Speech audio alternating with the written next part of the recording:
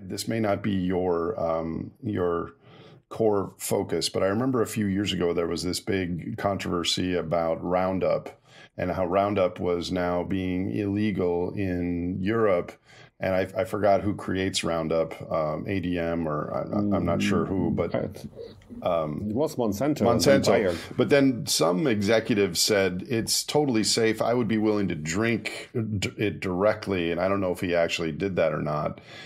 But how much of the impact of these intense chemicals would be immediate if you got exposed to high levels of it? And how much of it would happen over 20 or 30 years? Or what i suspect you're going to tell me is we don't know because there's no funding to do such experiments. Okay that's an interesting one. Um, there are different answers here.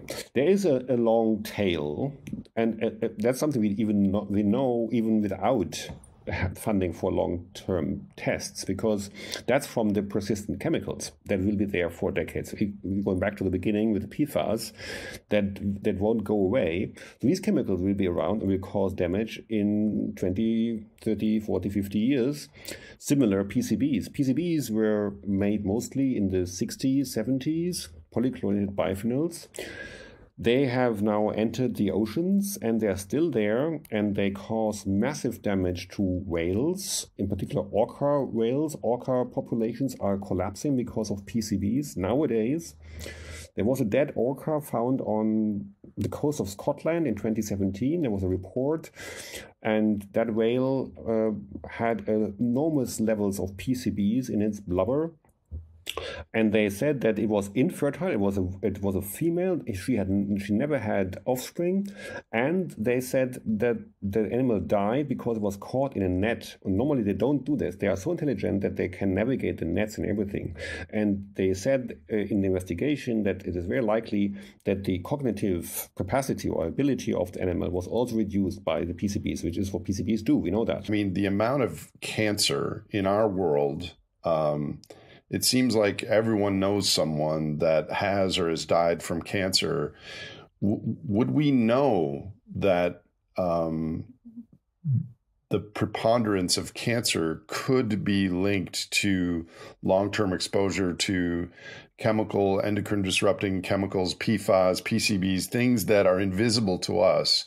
Has there been research on that? What can you say about that? Yeah, I mean, that is the crux in a way of all this chemical and epidemiological research in connection with humans. Because what people, what scientists can do directly in the experiment is animal testing. So they can apply the chemical on the skin or in the, to the organ of the animals and find out what happens and what kind of cancer it may develop. But then, of course, there's always this question of what, what's what, what does that mean for humans? And then we only have these associations. So we do we can go out and investigate the population, lots of people. And that's what they did in the Parkersburg case with PFOA from DuPont. They had 80,000 people who were all exposed to high levels of PFOA. And then they looked at all confounding factors and tried to take, them out of the picture, these factors.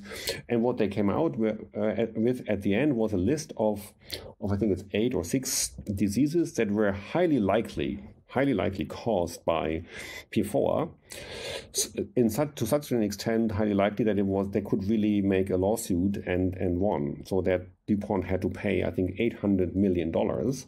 So that was really very close to not even a, yeah you can call that a proof. It's a philosophical question here. It's not a causal result from a test in a human. It is just what we see here in people and what we see here at levels of PFOA in their water, drinking water, and food. And if we remove everything, we see there are these eight things that, that stick out cancer, uh, testicular cancer, kidney cancer, I have the list here, and thyroid disease, ulcerative colitis, high cholesterol, and pregnancy induced hypertension. That's what they found as the ones that are were most likely caused by PFOA. So that's, but you see, we are we're kind of hitting a wall here in terms of, of final proof, and that's of course what the what what the opponents can always say. They say, oh, there are so many other factors. There could be electrosmog, somebody is smoking, uh, there could be other chemicals. So there is PFOA and there's Roundup. I mean, perhaps they are always use Roundup on their in their gardens, and that's why where it comes from. There's not a smoking gun. There's just a lot of smoke. Right, exactly. Lots of guns, lots of smoke, and not clear or how many bullets come out of what gun.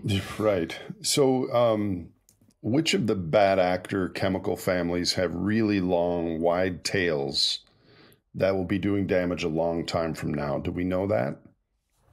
Yeah, I mean, again, the persistent ones because they don't go away. Hmm. So, again, PCBs and PFAS.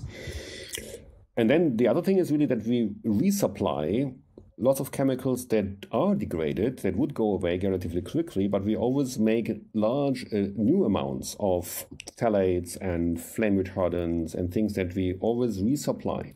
So if you have always a new carpet, a new car, new electronic devices, you add more sources of these chemicals to your life.